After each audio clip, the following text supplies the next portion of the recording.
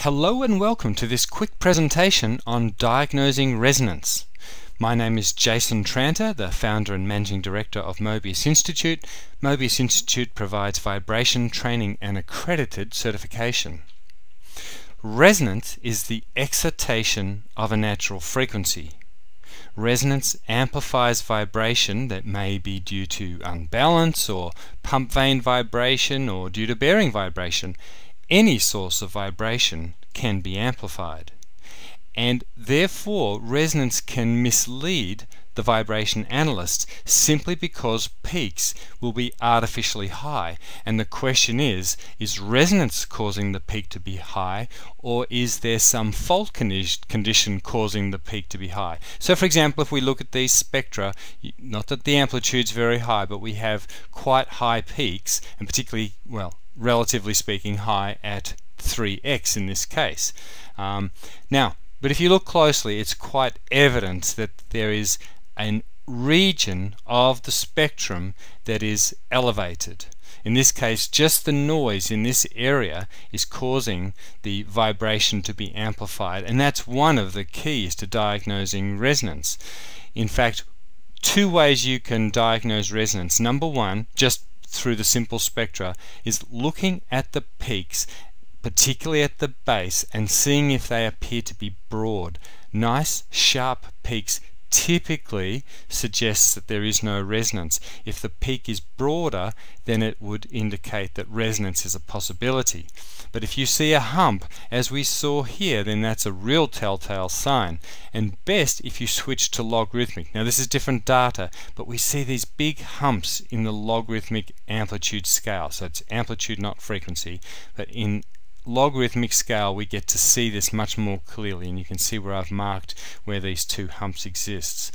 Um, it's important to understand that resonance is the excitation of a natural frequency but it's within 15 to 20% of that natural frequency where there is amplification. Greater amplification right at the natural frequency but any vibration within that 15 or 20% will be amplified and that's why we see a whole region amplified. Now, there are lots of different types of tests that can be used to diagnose resonance.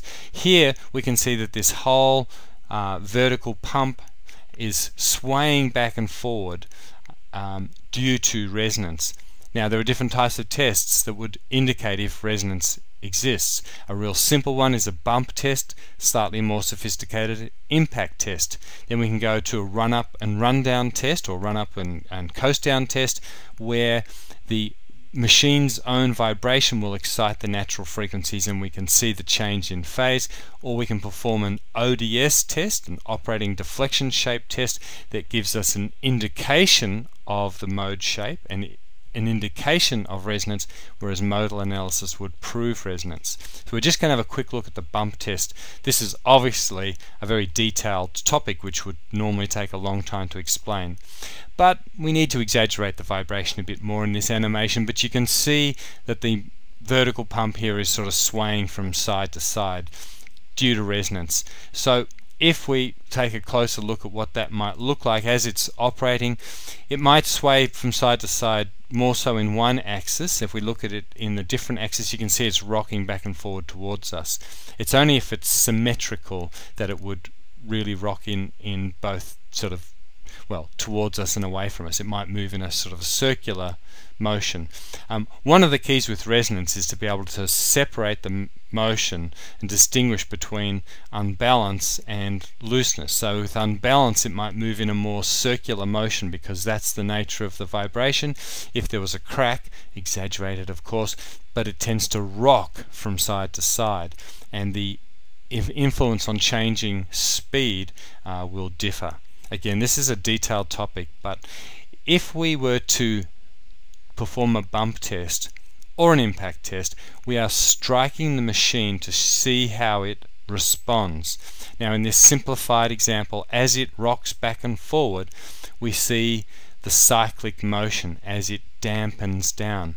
We can do that whether the machine is running or not, for an impact test, it isn't running. For a bump test, we have the choice. We're really trying to see how the vibration will change. In this case, let's say this is our vibration spectrum, the machine is running, we do an impact test, and what we might notice is that at 2, 1, 2 or 3 frequencies or more, we'll see an increase in amplitude in this sort of hump sort of shape um, where we've excited the resonance and everywhere within that uh, 15 to 20 percent that I mentioned before we'll see amplification the greatest amplification at the natural frequency. Now the hump might actually be just to the side of the running speed or just to this side. It may not be the running speed that's exciting the the uh, natural frequency and therefore causing resonance. So we want to find out just what's going on so that we can actually correct the problem as well. So resonance is the excitation of a natural frequency and that increase in vibration could cause bearings to fail, the structure to fail, could cause problems with um, product quality or noise and, and other problems.